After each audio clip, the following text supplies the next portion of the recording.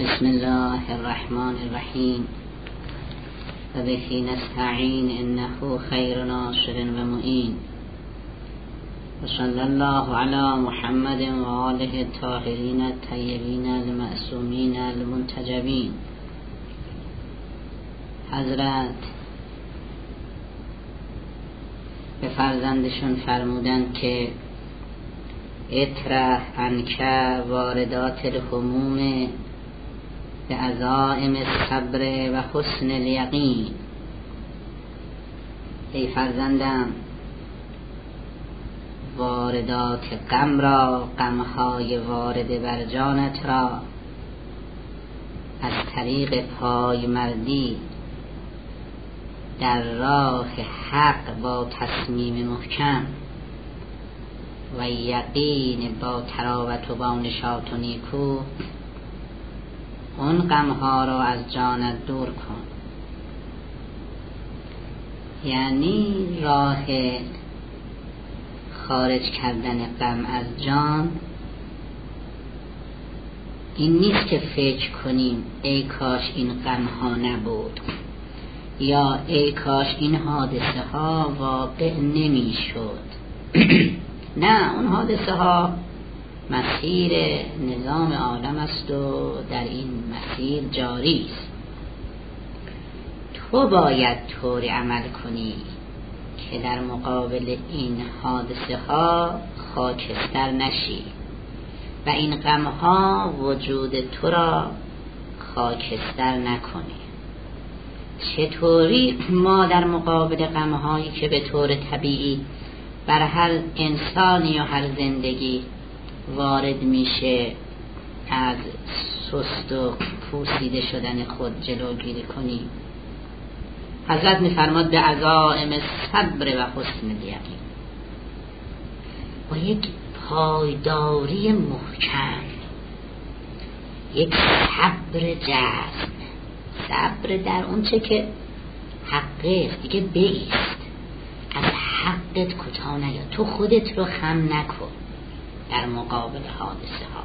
بر اون عقیده الهی خودت سستی نکن. محکم بیست اینجوری غم می شکنن تو در مقابل غم نشکن. تو محکم بیست جنس جهان آن است که غمش در مقابل انسان پایدار در دین میشکنه. و حسن یقین یه چیزی رو خوب تو روحت تقویت کن. و اون این که مدیر عالم حکیم است. مطمئنا چیزی از دست خدا در نرفته. یعنی مطمئن باش که حکمتی در کار است. قاعده ای در صحنه است. یک اصلی که خوبه که التفات بفرماد. ببینید آقا بحث اینه که آیا انسان محور عالم است؟ و عالم باید هماهنگ انسان باشد. یا عالم اصالت دارد و محور است و انسان باید هماهنگ عالم باشد. یعنی اگر بنا شد که یکی به گرد یکی بگردد عالم به گرد آدم بگردد یا آدم به گرد عالم بگردد. خیلی فرق می‌کنه که ما متوجه باشیم که محور آدم است با خصوصیات خاص آدمیتش و جهان در خدمت او قرار می‌گیرد. تا اینکه فکر کنیم که انسان باید در خدمت جهان باشه. شما این آیه رو داشته باشید که میفرماد فلا ان اهل القرى آمنو واتقوا لفتحنا علیهم برکات السماء والارض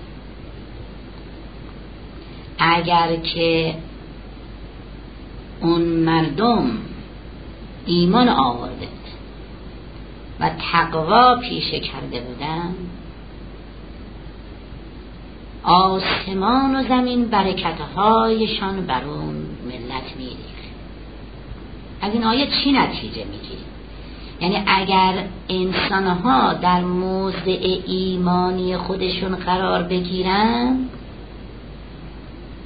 آسمان و زمین اون چنان جهت می‌گیرن که در خدمت این انسان ها باشن. ممکن است بارانی ببارد ولی بر دشت نبارد. بر بیابان ببارد.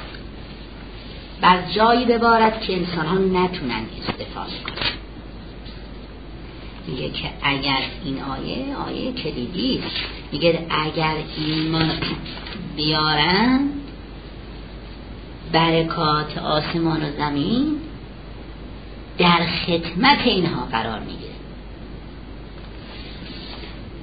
میگه اگه شما تغییر کنید در راستای انسان درست کار آسمان و زمین در خدمت شما. یعنی آسمان و زمین خلق شده اند که انسان خوب تأمین شود. ولی خود انسان خلق نشده است که در خدمت آسمان و زمین باشد. انسان خلق شده است که در بندگی و عبودیت محکم بشه و خب اگر بپذیریم که انسان اگر در درست کاری محکم بشه زمین و زمان در اختیارشن حالا پس اگه غمی آمد سراغش یعنی یک حادثه خلاف میل و ارادش اومد سراغش حالا چه کار کنه؟ می‌خواد حادثه تغییر کنه جهتش به نفعش تمام بشه میگه با ایمانداری و اعتقاد و تقوا جهان طوری میشه که به نفع تو تغییر می‌کنه در قرآن داریم که فرعونیان به جهت کار بدشون گناهانشون قحطی بهشون رسید قحطی های متناوع یعنی چی؟ یعنی این جهان آنچنان است که اگر یک کسی بد شد باش سر ناسازگاری دارد خب حالا برد ناسازگاری ها رو رفت کنن یا خودش رو تغییر بده. جهان وقتی که با آدم بد سر ناسازگاری داره خب هر گوشه زمان زمین رو بخواد یا جهان رو بخواد تغییر بده به نفعش گوشه دیگه به ضررش تمام میشه مثل آدمی است که بناس بمیره. خب کلیش رو بخوان تعمیر کنن تصریح کنن خب قلبش خراب. قلبش رو بخوان تصریح کنن مغزش بامیشه یعنی باید یه کاری کنن که اون جهتش به طرف بدنش باشد وگرنه اگه جهتش به طرف عالم غیب رفت و خواست بمیره هر کاری بکنن یه طرف دیگهش خراب است. میگه فرعونیان به جهت کارهای غیر دینیشون گرفتار قحطی ها شدن. خب حالا اگه بخواد از این گرفتاری نجات پیدا کنن باید خودشون رو تغییر بدن. انسان اگه خودش را برای عالم خم کرد خود خود خم شده میماند. برعکس باید خودش استوار بماند تا عالم به نفع این تغییر جهت بده. حضرت میفرماد که تو نمی‌خواد درگیر غم ها بشی بخوای غم ها رو رفت کنی. تو در مسیر ایمانی محکم بشو جهان آنچنان تغییر می‌کنه که دیگه غم برای تو نیست. نمیپوسی فرسایش پیدا نمی کنی وقت دو تا چیز هم شرط هست. عزائم صبر و حسن یقین. یکی محکم و مطمئن در اعتقادات دینی پای برجا ماندن یکی هم مطمئن بودن که این نظام یه مدیر حکیمی داره هیچ کارش بیدلیل نیست. بعد میفرماد که من ترک القصد جار کسی که میان روی رو ترک کند ختم خواهد کرد. و غمها به سراغش میاد یعنی یکی از علتهای ورود غم اینه که انسان مرزهای زندگی خودش رو تعیین ما باید اینا بفهمیم که اصلا ما بنا داریم توی دنیا یه مرز بندی داشته باشیم در ارتباطات خودمون. که میفرماد قصد یعنی همون میان روی اقتصادم از همین میان. میگه نه کسی مرزبندی هاشو از بین برد این غم سراغش میاد. می‌خواد پولدار باشه می‌خواد فقیر باشه. ما یه مرزبندی در گرایش ها و زندگی خودمون باید داشته باشیم. ما باید مشخص کنیم حد اون را حد اقتصادیمون حد ارتباط اجتماعی ما چقدر بالاخره چقدر ما باید گرفتار ارتباطات بیرون باشیم؟ آیا در حدی که بهترین هدیه یه حیات یعنی مثلا عباداتمون در مال این ارتباطات بیرونی بکنیم؟ دنبال اقتصاد و 18 ساعت کار و 20 ساعت کار بریم؟ یعنی دو, دو بعد کار کنیم؟ میگه نه این در واقع غم ها سراغش میاد. شما خودتون هم تو زندگی مردم دیدین اونهایی که اولا گاهی آنچنان زندگی می‌کنن که اصلا کاری جز کار بلد نیستن. اصلا خلوت کردن عبادت کردن سله رحم مسجد نماز جماعت اصلا اینا رو گم می‌کنن. بنابراین طوری کار کردن که فقط بلدن کار کنن. بنابراین نمی‌تونه ده کار کنه. بل حتما هیچ درصد کار کنه. این بیچاره از مرز انسانیت خودش رو زده بیرون تعادل هاشو از دست داره این هم به خودش ستم می‌کنه هم به جامعه. و ها به سراغش میاد. من ترک القصد جان. میان ردی داشته باشه نه افراد نه تفرید در همه ابعاد و صاحب و مناسب و صدیق و من صدق غیب و میفرماد خب پسرم در همین رابطه میان روی و اینکه در یک مسیر صحیح غمها رو بزدایی بدون که دوستی که واقعا دوست باشه. این یه نحو قوم خیش آدم است. قوم خیش است. و صاحب مناسب. دوست. دوست واقعی قوم خیش آدم و صدیق من صدق غیب و حقوق و دوست. اونست که در پنهانم دوست ما باشه. این اولا چند و کاف کن. تو می‌دونی که یکی از عواملی که غم رو به سراغ تو میاره دوستی های بیجا و بی دوستی های بیجاست انسان نباید اون چنان باشه که اصلا ارتباطات نباشه براش. نه اون چنان باید باشه که ارتباطات بیجا باشه. میگه اون که دوست هست واقعا حفظش کن. مثل قوم خیشش بده. یک نسبتی با خودت تو داره. مناسب است. نسب داره با تو. انگار که همریشه ای ولی اون که دوست است و همریشه است مناکش مشخصه. از صدیق من صدق غیب و دوست واقعی اونست که در غیبت آدمم دوست باشه. حالا غیبت به تو معناست. یکی به معنای این که یعنی پشت سر آدمم دوست باشه. در رابطه و رو طرف مستقیم فقط دوست نباشه. نه واقعا دوست باشه. یه معنیش هم نیست که یعنی در باطنم دوست باشه. اصلا کسی که بخواد پشت سر آدم دوست آدم باشه همونه که در باطن دوست آدم باشه. اگه بخواد در باطن دوست آدم باشه تا حتما باید هم عقیده باشه با آدم. پس میشه نتیجه گرفت که دوستی واقعی دوستی عقیدتی است. یعنی اصلا دوستی که میماند و سرمایه می‌شود برای انسان دوستی عقیدتی ما باید یه کاری کنیم دوستی عقیدتیمون از نره یا ارتباطاتمون ارتباطات عقیدتی باشد. روح انسان بالاخره یه نیاز به ارتباط دارد. می‌خواد که یک سری ارتباطات سالم باشه. میفرماد این ارتباطات سالم در رابطه با عقیده و باطن ممکن است.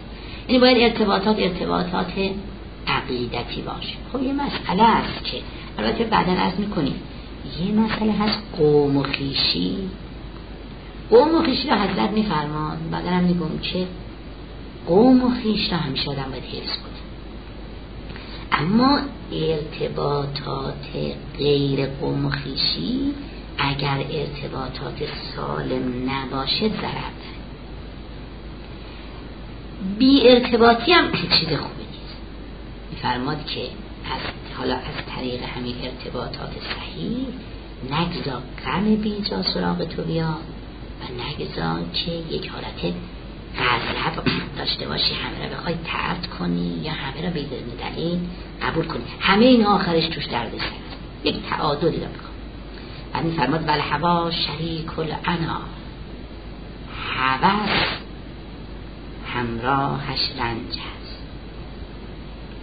خب انا داریم یه جا بعضی نسخ گفتن اما. یعنی طبق اون نسخه که گفتن اما میشه الهوا شریک اما یعنی هوس چشم کور می‌کنه. داریم هم روایت هم داریم که وقتی آدم بیش از حد یه چیزی را دوست داشت حب و شی یعمی و یسن افراد یه چیز دوست داشت آدم هم در مقابلش گنگ میشه هم کور میشه.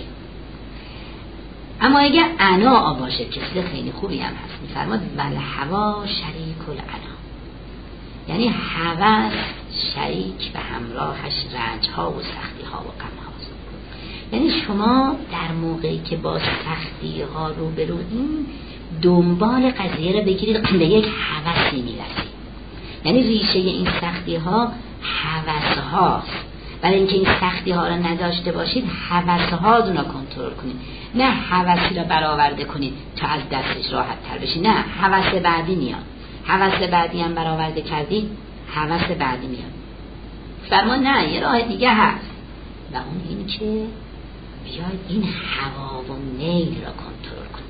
شما از دست سختی ها نمی رهید الا اینکه از دست هوس ها برهید یک میلیاردیوم هوس داشته باشی به همون اندازه رنج داری و یعنی شما دنبال رفع سختی ها طوری نباشید که از هوس غافل بشید. بل هوا شریک انا این هوس هاست که تو را به رنج ها میندازه.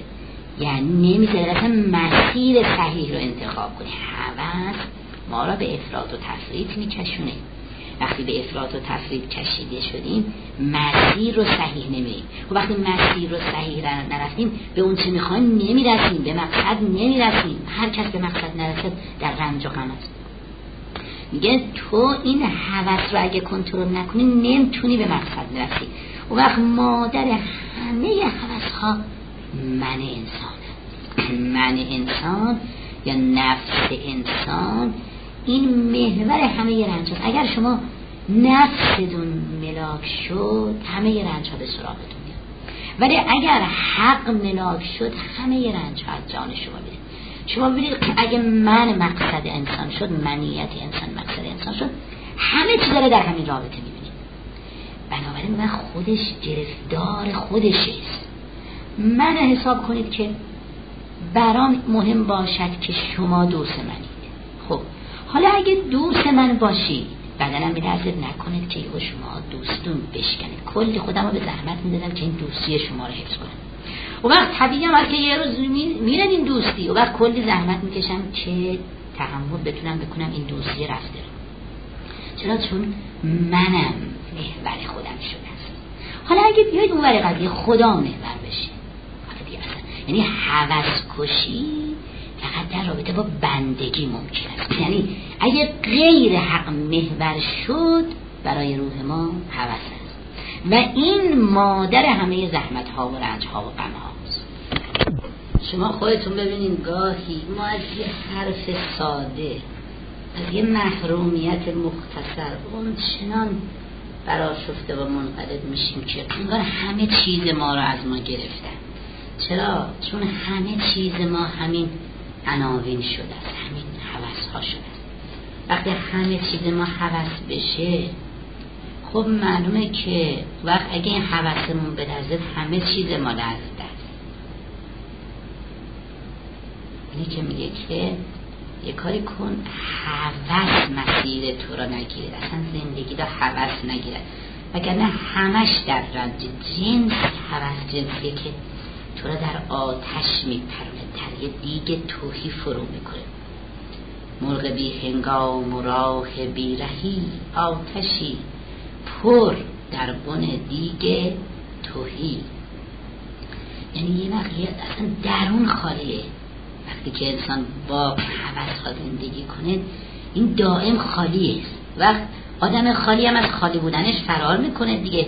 هی با خالی بیشتر می‌خواد خالیشو پر کنه. این که چیزی گیرش نمیاد. این همیشه در یه لحلهه. یعنی نمی‌تونه خودش رو نجات بده. یعنی سیر نمیشه. مثل یادم که کف می‌خوره. کف تندان حبس یه همچه جنسی داره. خودش رو با بزرگی های پوک می‌خواد سیر کنه. این به جای نمی‌رسه. و فقط به جای نمی‌رسه. نه دیگه. از بین میره. یعنی در انا و سختی قرار می‌گیره. دیدین مثلا میگه من می‌خوام مشهور بشم شجاع باشم. یعنی با این چیزا نمی‌خواد که من می‌خوام بنده باشم. دلگر تو خود را پیش و پس داری گمان بسته جسمی و محرومی ز جان. خودت می‌خوای بالا و مهم بدونی تو هنوز بسته جسم دی. و وقت همطور میمونی تو این حالت. یعنی دیگه یک زندگی نداره. زندگی همین در گور حوض از بین رفتن است. یه همچه حالتی پیدا می‌کنی. حوض جنسش اینه دیگه. عمر اگر صد سال خود مهلت دهد او هر روزی بهانه نوده خیلی خوب میگه. یعنی دائم هی تو رو میکشونه دی برام. چون هست که محتوا نیست که سیر نمیشی که بندگی محتواست. اصل ما بندگی نمی‌ذاره. همیشه اود هر روزی بهانه نوده دائم هی تو را میچشنه این برای و نمی‌ذاره دم چیزی گیرد بیا حسد می‌کنه خلاصه. فرمان من هوا شریک کل انا این حوث ها رفیق رنج هاست تو درست می‌خوای از رنج فرار کنی. ولی دقیقا به اون رنج می‌رسی. برای همین میگه که تو نمی‌خواد خیلی دنبال آب باشی. تو روحت درست کن. همه چی درست میشه. آب کمجو تشنگی آور دست. یعنی مشکلی داری دیست تو حق را گم کردی تو این کف ها زندگی می‌کنه همین باعث میشه که نگذاره از اسارت نجات پیدا کنه. همین حوث ها را آدم زندگی می‌گیره. یه همچی چیزی پیش میاد. دیدین دیگه؟ من سر یه زخم مگس جمع میشه. خب چرا؟ حوث اینجوریه دیگه. انسان وقتی روحش بی محتوا شد خدا نداشت حوث ها دور روحش را می‌گیره.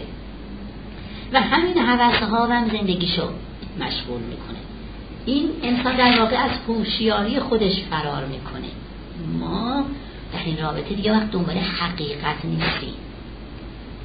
در واقع میفتیم دنبال نقشه هیله مثل گرگ ها به جون هم میفتیم و خود همین زحمت است باز دوباره. آرزوها ما رو مسخره می‌کنه. و مسخره آرزوها میشیم. با خیال گنج گنج حیات رو از دست میدیم. یعنی گفت آنچه تو گنجش توهم می‌کنی زان توهم گنج را گم می‌کنی. دور می‌بینی سراب و میدوی جنس حوث نه دیگه.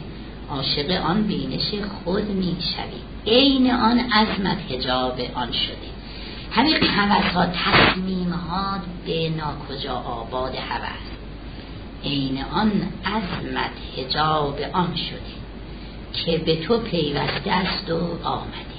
دیدین مثلا هجاب دنبال آدم میاد دیگه. وقت دائم می‌خواد از همون فرار کنه که پیششه. وقت کجا میره آدم؟ هیچ حوض این است که نمی‌ذاره جای بری. ولی همون ناکجا آباد و برا تو هی نشون میده. مثل یه طلب نسیه. است یعنی طلب نسیه را آدم هیچ وقت نمی‌تونه گیرش بیاره که.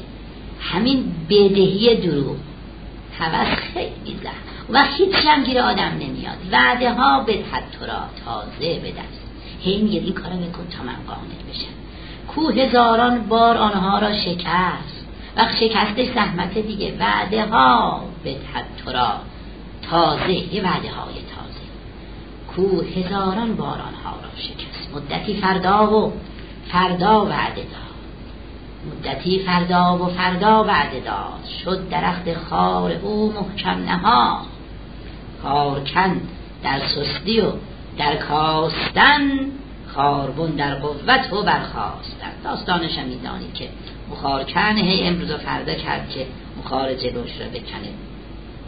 و هی خار جوان و محکم می‌شد خارکن پیر می‌شد. او جوانتر می‌شود تو پیرتر زود باش و روزگار خود. ازت میفرماد اصلا تو برو تو این فکر.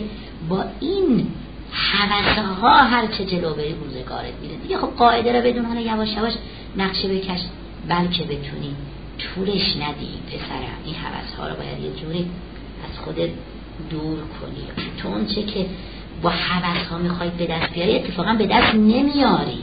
خب اینا تو ببین داغن به من داره میگه که اون چه تو میطلبی اصلا از طریق حوث ها به دست نمیاری. تو می‌خوای زحمت نداشته باشی. با حوث ها به طور به طرف زحمت میری. برعکس تو بندگی از اون چی که میطلبی برخوردار میشی. یه اصل است دیگه چیز اندر خون که اندر نهر نیست. آدم تو زندگی محدود حوث دنبال آرامش دریا میگرده. چیز اندر خانه که اندر شهر نیست. این جهان خم است و دل چون جوی آب این جهان اجرست و دل شهر اجاب. میگه تو به طرف معنویت برو.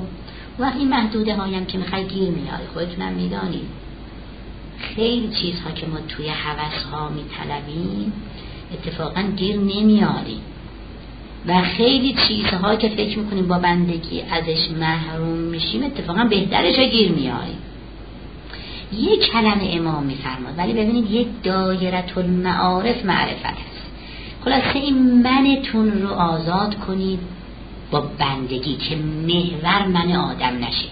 محور خدا بشه. و از همه جز رنج آزاد شد یعنی شما منتونه که ببینید دریچه همه حوثه ها را به سوی خودتون باز کردید و به فرمایش امیر المومنین مدخل همه سختی ها جانب شما شده است یعنی حوث شما را به گرداب سختی ها می کشونید بله بله هوا شریک کل انا ای پسرم. حوث همراهش زحمت ها هست خوبه دقت کنید چند بار بخوانید مطلبای بسیار خوبی هم برای آدم هست.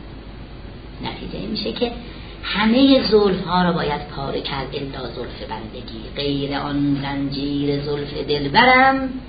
گر دو صد زنجیر آری بکسنه یعنی با بندگی از حوث آزاد میشی و از سختی ها و فشارها هم آزاد میشی. این زرنگی های کورکورانه قصهش قصه این است که آدم فکر کنید که دارد از آتش فرار می کند و دقیقا به سوی آتش می دود یا با حوثها در واقع نمی‌گذارد به اون چه مطلوب اون یعنی خدا دست پیدا خب؟ حالا میای یه بررسی می‌کنیم غم بی خدایی داشت یعنی جان تعلق به خدا داشته اما این تعلق عملی نشده. است اینو میگن غم مقدس. این غم غم خوبیه. به اینم نمیگن حوث کما حوث یعنی تعلق داری به چیزهایی که ریشه در جان تو نداره ببرید مثلا بنده تعلق دارم به این ستون که این ستون قشنگ بمونه. حالا اگه ترکی انگار من شکست خورده حضرت میفرماد که حوث ریشه همه سختی ها و اناها و تعب ها و فشار هاست پس اگه میخوایی که سختی ها برطرف بشه باید حوث ها کنترل شما می‌دانید که یه من داری یه خدا داری. اگر به منتون تعلق داشته باشی یعنی با سختی هماغوشی یه دردانه ما داریم یه چیز بیمزه لوسه خودخواه به نام من. به نام من. دائما این در خطر. حالا شما حساب کنید اگر به من انسان تعلق داشته باشه دائم در عذاب خب.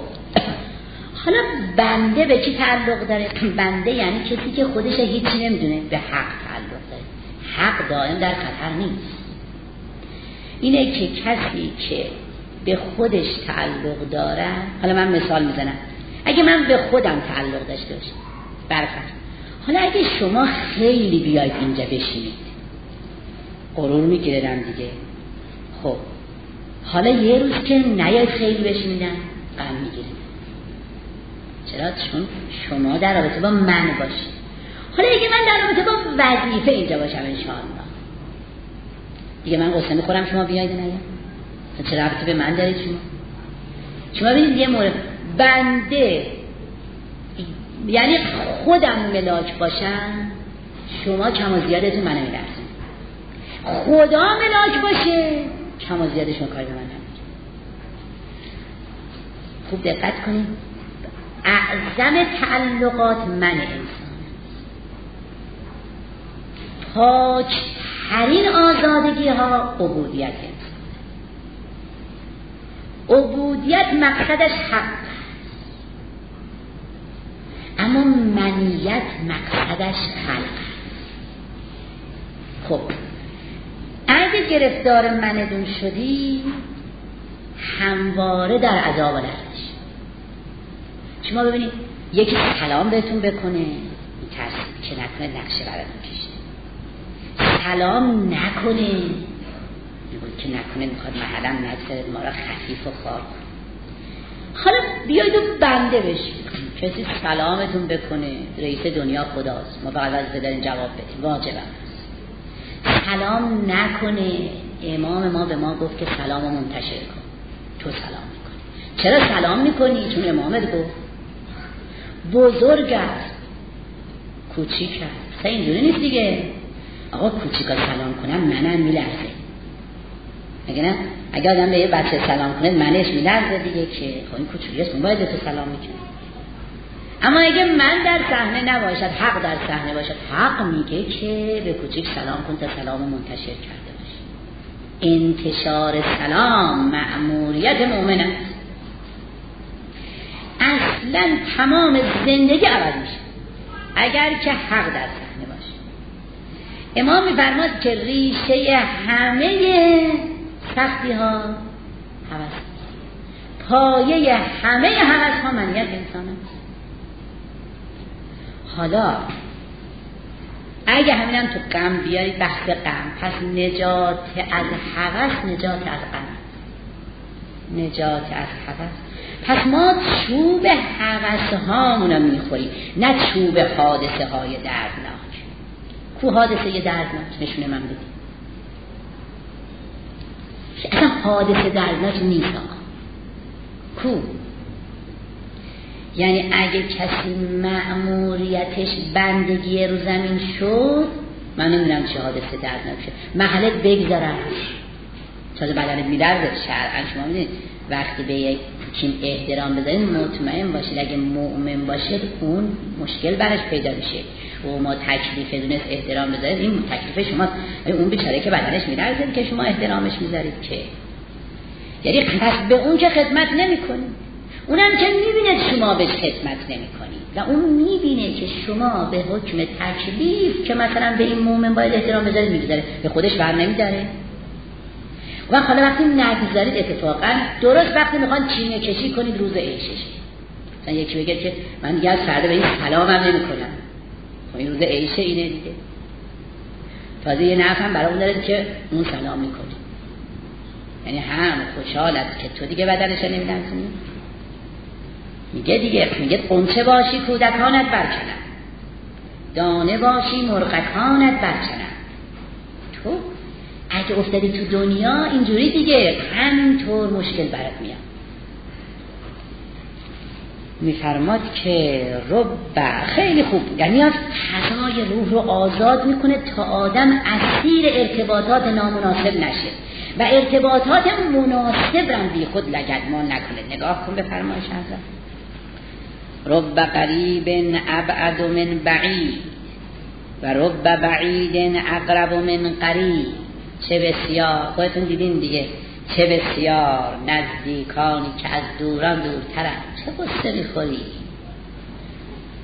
یکی امروز اومده بود ما در خدمتش بودیم. می‌گفت که عرصه بهم تنگ شد. گفتیم چرا؟ گفت آشنایان خیلی اذیتم من صبح این متنا داشتم مرور می‌کردم همین براش گفتم. گفتم کو آشنایان؟ آقا میگه آشنایان اذیت هم می‌کنن. خب پس کو آشنایان؟ کسی که تو اذیتت می‌کنه که آشنا نیست. پس دل کندن ازش سخت خوب گوش کن. و عکسش. رب بعید اقرب من قریب. چه کسایی که ظاهرا دورن. ولی از نزدیکان نزدیکترن خب بحث قوم و خیش رو حضرت آخر می‌کنه. من از کنم حضرت نظرشون است به حکم وظیفه و به حکم عقل تو قوم و خیشا دا بهشون بیمهری نکن. اونا داشته باشین در جای خودش. آخر همین نامه نکته داریم. هست بحث بحث عوامل اونس نه اشیره اشیره را حضرت میفرماد بال تو تو باش می‌تونی بپری.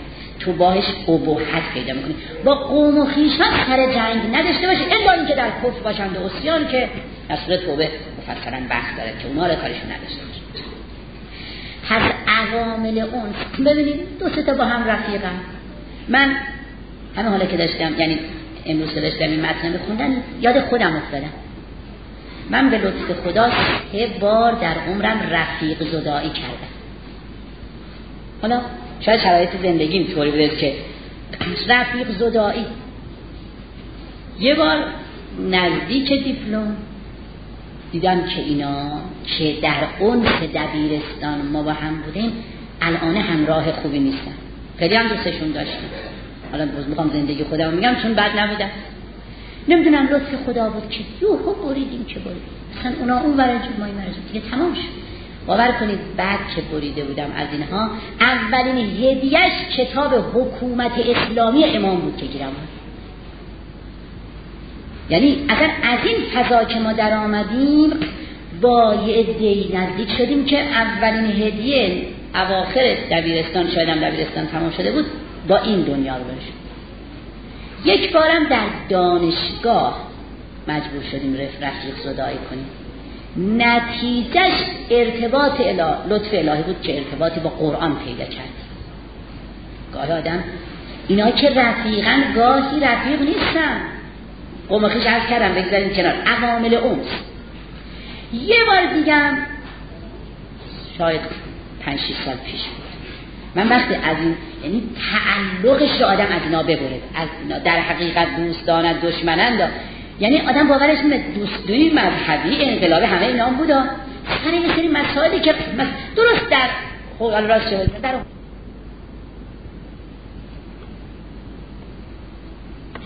باید ببریم. به خدا قسم بریدن همان بریدن دلی آقا. یعنی دل کنده شد از اینها. انگار که من تازه متولد کردن و در یه بهش قرار دارن آدرم با هوای خوش بهاران تنفس می‌کنه. اصلا زنده شده. نمی‌دونم هم اینا چه حکمتیه. چون تجربه خوبی بوده تو زندگیم عرض می‌کنم تقریبا هم الانم همطور بنا نیست که دل رو بدون دلیل در گرو فرد ما قرار بدیم. بدون اگرم دل دادیم باید مشخص شد فلسفه این دل دادگی چیه؟ چرا؟ چرا بناس من شما رو دوست داشته باشم بعضی موقع یکی میگن آقا اصلا طرف مثل سنگ عاطفه ندارم عاطفه نداریم یا احساسات نداریم؟ یعنی بنده و جناباله ابو عبدالله رو دوست نداریم؟ خب این بی ولی مثلا حالا یه کسی به همین طوری چون شما قدیم همسایه ما بوده ما خیلی شما رو دوست می‌داریم. چه می‌دونم چرا. چرا باید من اگه یکی همسایه قدیمی بوده احترامش دارم. دل به دل به علکی به هر کسی دادن که نمیشه که این دل حرم خداست. آقا به چه دلیل ما به افراد دل بدیم؟ شاید حضرت هم نبخواد بگه که این که شما این نزدیکان گاه خیلی دوره و اون دورها خیلی نزدیکن. آیا زیر این آسمان شما نزدیک تر از امام به خودتون سراغ داشتید؟ یعنی نزدیکی که شما رو به خدا نزدیک کنه به مقصد متعالی. خب اینا میگن نزدیک. خب حالا ظاهرا هم دوره. نه تایفه ما نه با هم درس خوندیم نه همسنیم نه هیچ هم رابطه نداریم. اما نزدیکی محض روحی و روحانی داریم باش. بعد میفرماد چه بی دوستم که نمیشه. ول قریب و من لم یکن له حبی قریب کسی است که دوست نداره پس اولا و حتما باید مؤمنین با هم ارتباط معنوی داشته باشن. شاید منظور همینه. یعنی باید یه عده‌ای که صلاحیت محبت و اونس دارند رو داشت. شاید بخواد اینو بگه ولی نمیدن بی دلیل هر محبتی رو مقدس شما چون بعضی جمله حضرت میگن کمکمون تو این قسمت می‌خواید بازم روش این را تاکید داشته باشید شاید باز بخواد بگه شما نمی‌تونید بی ارتباط باشید پس بیاید ارتباطات مقدس رو برای خودتون حفظ کنید. شاید اینو بخواد میفرماد که من تعد من تعدل حق زاق مذهبم. این حالا رفت بدین به قبل میگه کسی که مسیر حق را گذاشت کنار مسیرش تنگ می‌شود. مسیر حق از اون مذهب بعدی گفتیم دیگه. کسی که تعده حق از حق جلو افتاد. یعنی حق گذاشت پشت سرش دیگه. مسیرش تنگ میشه. یعنی اگه مسیر حق گذاشت پشت سر مسیرش تنگ میشه. یعنی عرصه بهش تنگ میشه. فشار میاد نمی‌تونه به نتایج که میخوا برسه. به هر دلیل حالا پس در دوستیابی در زندگی در ارتباطات هم میگه که تو به امید وسعت حیات مسیر حق رو ترک نکن. چقدر تو زندگیتون تجربه کردیم هممون تجربه کردیم. اونجایی که حق را گذاشتیم کنار که راه بهتری گیر بیاریم به عمر خودمون و به زعم خودمون صد پله گاهی آدم میگه که چی؟ چون که ماهواره ممکنه بیاد و مثلا جوانای ما را فاسد کنه حالا ما میگن یه کانال اول می‌ذاریم فقط فوتبال. نمی‌دونم یه کانال سوم یه کانال می‌ذاریم رقاصی. یه کانال دیگه می‌ذاریم. حالا فقط رقاصی استار مثلا حالا نمی‌دونم سوریه بکنم یه کانال دیگه می‌ذاریم چه یکی بیاد آواز بخونه نمی‌دونم یکی بیاد گلا بوته ببینه. یه کانال. یعنی این کانال. بعد یعنی از حق یه خورده اومدیم پایین. حد تا مشکل پیدا کردیم. کو راحتی؟ من جیت شدم آقا بیاید ما رو نجات بدید. یعنی ما اونجایی که یک اپسیلون یک میلیمتر از حق اومدیم پایین. به من نشون بده که یه میلیمتر راحت شدیم. صد میلیمتر مشکل داشت گفتیم مثلا حالا گفتیم آقا برای اینکه مثلا حالا کارگر خوب فرضش خوب باشه میان یه شرکتایی کنار کارخونه وا می‌کنیم. حالا این شرکت ها مثلا جنس ارزون بدن به اسم دولت ببخشید گرون بدن به اسم دولت هم تموم نشه. خب بعدا حالا چه کار کنن؟ حالا مدیراشون مدیر کلاشون که خب اینا آدم ها زرنگن میرن از دستشون. گفتم خب حالا میان حق جذب به مدیر کلا. در جنبه خودم باشه. خب حالا بعد چی شد؟ بعد تفاوت اقتصادی از زمین تا آسمان شد. یعنی حالا یه کارمند با یه مدیر کل مثلا فاصله سه برابر شد. خب حالا این سه برابر تفاوت اقتصادی چی میشه؟ پیچی. یارو مثلا خربوزه رو تو زمستون میاره میده توی صد تومن. خب حالا من میگه چشم کروشت کسی ازت نمی‌خره. گرون بفروش کسی ازت نمی‌خره. خدا آقا داره اون که به سه برابر دادی اون می‌خره. وقت وقتی اون خرید خربوزه فروشه چه کار می‌کنه؟ میره یه ماشین هوندای 19 میلیونی از خارج میاره یعنی دکونه خربوزه فروشی می‌ذاره به تو پوز میده. همه چی میریزه به یک بلنبشوی میشه. خودتون ببینید دیگه. گفت در تجدید و تجدد وا شد ادبیات شلم وا شد نه آقا همه چی شلم وا شد اینجوری میشه این حرفا چیه؟ آقا تیز امیرالمومنین رو رها نکنید. من فقط خواهش می‌کنم شما یه چیز همیشه یادتون باشه. خدا می‌دونه جدی میگم من بحث توجیه نظام که ندارم. عموما اینجوری که یه کارشناس میاد یه نظری میده و میچسبونه و میره جلو تا میان نظام بیدار بشه ببین کلی مشکل درست شده.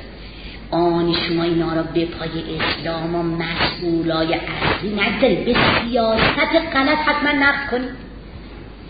به فرق آنی هم این یه بار هم شد یه جا مفصل بحث کنیم. این یه روش غلطی که ما هر چی بخواد پیش بیاد زود به پای نظام یا مسئولان رده بالا بذاریم من مثال می‌زنم فضل ابن عباس پولا رو دوزید و فرار کرد. ولی ما که به امیر المومنین نذاشتیم من بگم حضرت امیر المومنین دوزده رو گذاشته سر کار که میشه بذاری امیر المومنین معصوم. یه تیزی و اون که کار غلط غلط هست یکی این که ما در تجزیه تحلیل کار نقد کنیم. کار نقد کردن. بلکه حق ماست مقام معظم رهبری خیلی خوب فهمه. گفتن اگه امر به معروف نکنی سیره پیامبر در واقع دارن میگن به مسئول می‌گیره تو مسائل. خب اومدن بچه میگه همین بچه های مذهبی کم این شهر نیمدن ایراد گرفتن به این فیلم تحفه هی خب دستشون درد نکنه.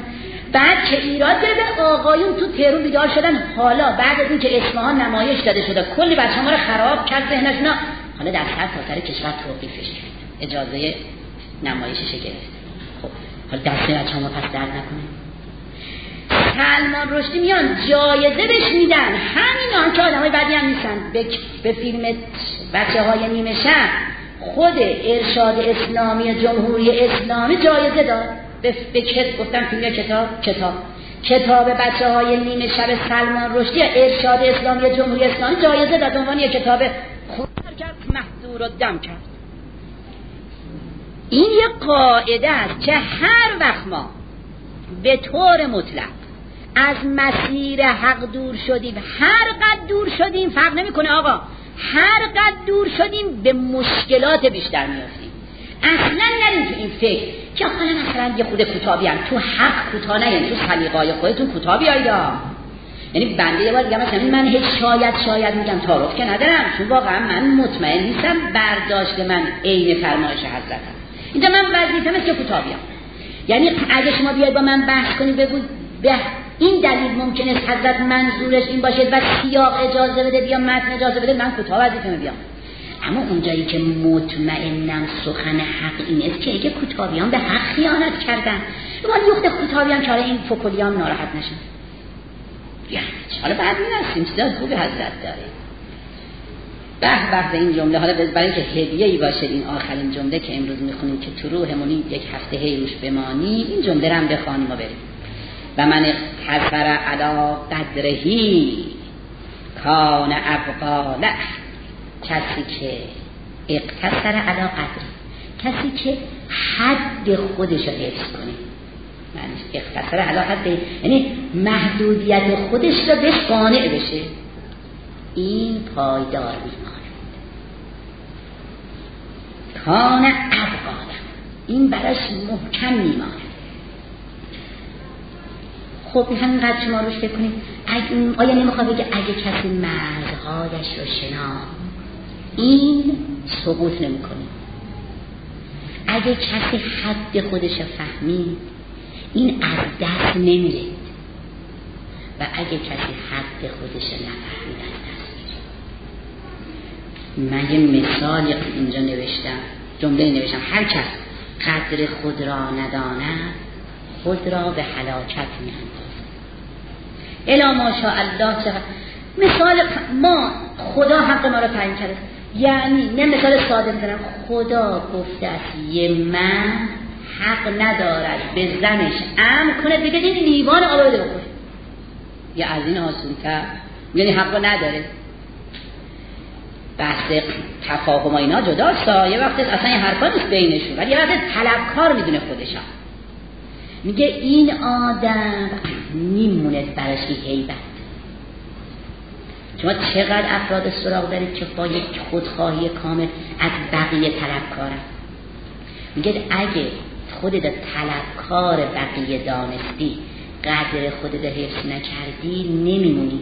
سقوط می‌کنی. تو حق بگیر رفتش بده به جمله. مسیر حق بگید از حقم جنانه هر چه حق آقا حق من چقدر خدا و پیغمبرم مشخص می‌کنن حق من. همون حق ماست آقا چقدر من باید از خودم انتظار داشته باشم؟ از شما نسبت به خودم انتظار داشته باشم؟ و ارتباطاتمون باید چطوری باشه؟ من زیاد سراغ داشتم. افرادی که مرز خودشونو نشناختن به خودشون رقیه ظلم کرد یعنی شما هر چه احترام به من بذارید حق منه. خب این خودش خودخواهی میاره دیگه می‌دونیم چه؟ هر کرا مردم سجودی می‌کنن زهرها در جان او میافکنن الا اینکه خودش بیدار باشه که حقش نیست اینا کار خودش نمی‌کنه. به قول آقای قرائت خیلی خوب می‌گفتن. گفتن مردم نجیبن که وقتی ما حرف می‌زنیم اعتراض نمی‌کنن. ما فکر می‌کنیم حرفا ما حساب. هم اینجوریه دیگه. خودمون هم می‌دونیم گاهی هم ما هم مثلا ناپریزی می‌کنیم نجابت به خرج میدیم. این طرف نه چون هم چه خیلی هم جمع جور نیستم حالا طوری هست اگه پذیرفتید که مرز خود شما یه چیز است. می‌خوام بابه شما کنم در آینده بخشم فقط بندگی. العبودیت و جوهرتون کن و هر ربوبیت. عبودیت ها چیزی که بشه ازش فرار کرد. یا یه چیزی ما فقط بنده. ما که رب نیستیم. محی میگه که از استادم عبی مدین سوال کردن که چرا شما کمتر از شاگردتون کرامت دارید؟ آقا هر چی اینا شاگرد دارن از شماست. کرامت و همه از شما یاد گرفتن. شما خودت کرامت ندارید ولی شاگردان بد نیست بردشون میگه که عبی مدین گفت من می‌خواهم بنده باشم. آنها می‌خواهند رب باشم. قدرت نمایی بیدیم که کار خدا. بندگی کار ما. حالا اگر بخوای به اصل دون برگردی هر کس هم اصلش براش مفیده دیگه. اصل شما چیست بندگی؟ پس هر چه به بندگی تکیه کنی به اصل دون برگردی. هر نمیری هر نمیری هر چه به قدرت نمایی تکیه کنیم به اصلمون برنگردیم هر میریم آب اگه اومد تو دریا هرز نمیری اگه رفت تو صحرا هرز میری اصل ما بندگی. حضرت حالا شما تو این دنیا زندگی کنید. خب ببینم کو خون غم بر ما. حلال و خون ما بر هر غمی کو گرد ما گردید شد در خون که و ندعو که یا الله. یا الله و یا الله و یا الله. یا رحمان و یا رحیم. یا مقلب القلوب ثبت قلوبنا على دینک. و ثبت اقدامنا على شراطه اللهم اخرج حب الدنیا من قلوبنا. و حلاوت ذکره و لذت مغفرته و قرور اعیننا یوم لقائک برؤیته و تول امورنا به حسن کفایته پروردگارا به حقیقت قرآن و معارف اهل البیت قلوب ما را ظرف معارف قرآن و معارف اهل البیت قرار بده. پروردگارا قلب امام زمان عزیز را از ما راضی و خشنود بگرد. پروردگارا این جلسات را به عنوان اعلان بندگی و ارادت به ساحت قدست از ما قبول بفرما خداوندا این انقلاب عزیز لطف بزرگ توست به این ملت الهی برای ما پایدار و مبارکش بدا ما را شایستگی سربازی این انقلاب عطا بفرما مسئولینی که در جهت احیای دین و دیانت تلاش می‌کنن موفق و معید بدا پروردگارا مقام معظم رهبری را از همه بلیات سماوی و عرضی مسون و محفوظ. بدا. حکمش را به لطف و کرم خودت در بین جوامع اسلامی نافذ بگردان. پروردگارا توفیق ادای حقوق زول حقوق به ما مرحمت بفرما. زول حقوق ما را در پناه خودت و خودت محفوظ بدا. خداوندا توفیق سله رحم و احسان به والدین به ما عطا بفرما. اللهم صل على محمد وآل محمد.